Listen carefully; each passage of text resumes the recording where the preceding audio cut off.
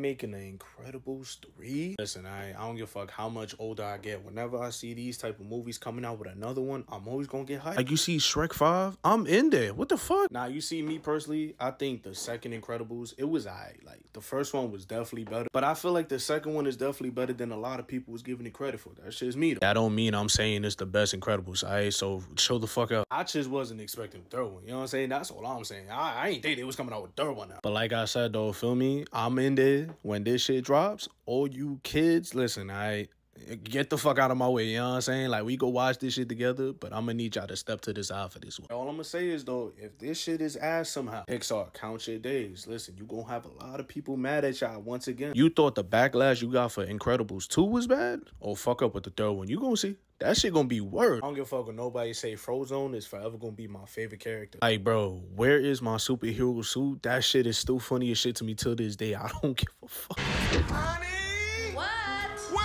my super suit? What? Where is my super suit? I, uh, put it away. Where? Why do you need to know? I need it. Uh-uh. Don't you think about running off to doing no dare and do? We've been planning this dinner for two months. The public is in danger. My evening's in danger. You tell me where my suit is, woman. We are talking about the greater good. Greater good? I am your wife. I'm the greatest good you are ever gonna get.